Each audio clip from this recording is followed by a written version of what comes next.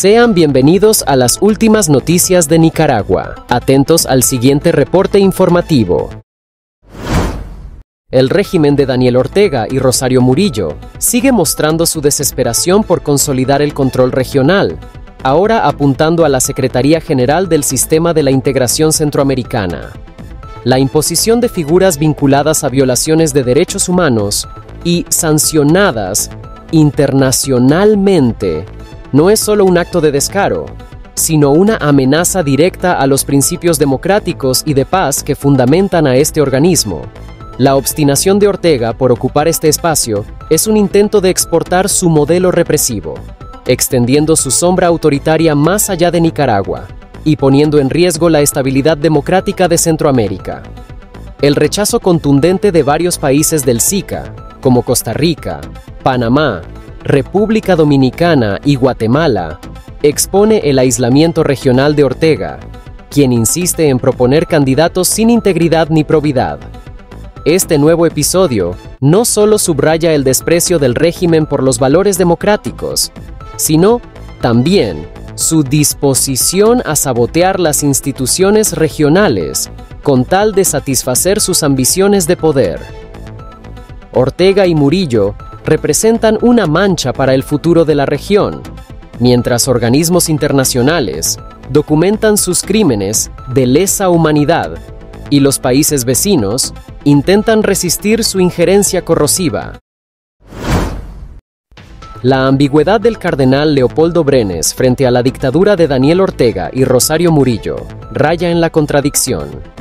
Mientras la Iglesia Católica enfrenta encarcelamientos y destierros de sus líderes más valientes, Brenes agradece a sus verdugos por restaurar una imagen religiosa, en lo que parece un gesto de sumisión calculada.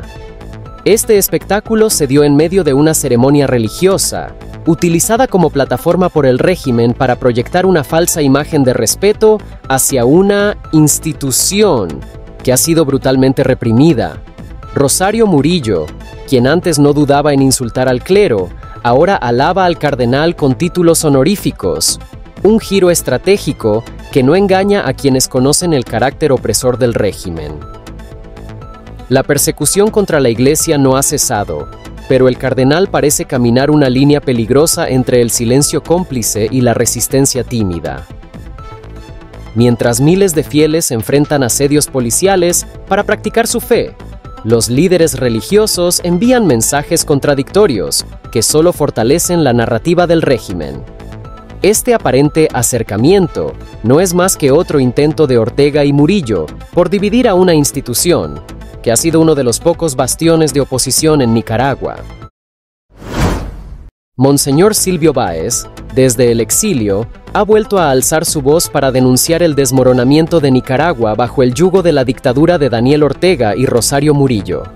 En un conmovedor mensaje durante la festividad de la Inmaculada Concepción de María en Nueva York, Baez no titubeó al calificar al régimen de criminal, totalitario y cruel, responsabilizándolo de transformar al país en una prisión asfixiante donde reina el miedo, la persecución y la injusticia.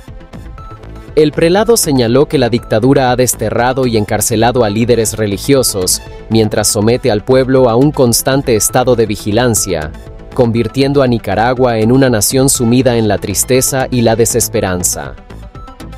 A pesar de este sombrío panorama, Baez encendió una chispa de esperanza al recordar que la devoción del pueblo a la Virgen María sigue viva, a pesar de los intentos del régimen por extinguirla.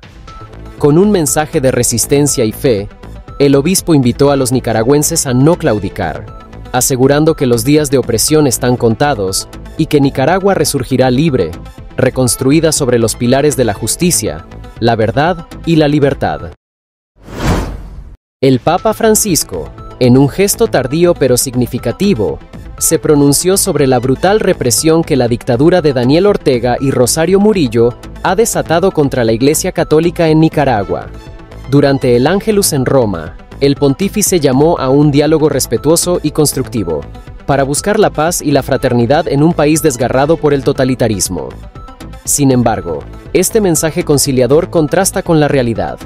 Una persecución religiosa sistemática sin precedentes en América Latina, que incluye la expulsión de obispos, el encarcelamiento de sacerdotes y el cierre y expropiación de instituciones educativas y medios católicos, bajo el yugo de un régimen que ha hecho de la represión su bandera.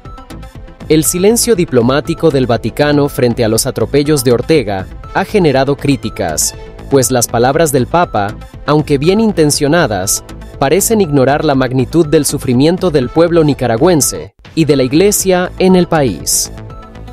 La tibieza de este llamado al diálogo contrasta con la valentía de los líderes religiosos que han denunciado abiertamente las atrocidades del régimen, dejando claro que Nicaragua necesita algo más que oraciones.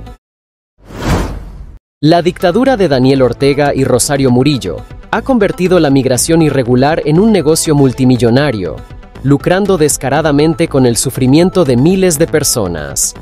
Entre enero y septiembre de este año, el régimen recaudó 467.6 millones de córdobas a través de cobros arbitrarios disfrazados como tasas por servicios de migración, principalmente de migrantes que usan a Nicaragua como corredor hacia Estados Unidos. Este abuso institucionalizado supera en un 212% lo proyectado, revelando cómo el régimen se beneficia de una crisis humanitaria que afecta a toda la región. La venta de salvoconductos a 150 dólares por migrante es una muestra más del cinismo de un gobierno que explota la vulnerabilidad de quienes buscan escapar de la miseria y la violencia. Para encubrir estas ganancias ilícitas, el régimen maquilla los números de migrantes como si fueran cifras de turismo, afirmando que más del 90% de los visitantes permanecen menos de un día en el país. En realidad, estos turistas son migrantes que apenas cruzan Nicaragua en su desesperada travesía hacia el norte. Mientras tanto, el régimen mantiene un hermetismo absoluto sobre la magnitud de este fenómeno, evidenciando su complicidad en una red de explotación. Suscríbete a Nicaragua Hoy TV para que no te pierdas las últimas noticias más importantes.